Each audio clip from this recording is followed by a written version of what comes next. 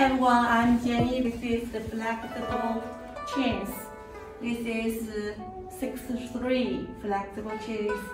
This is the 8-3. This is the 103.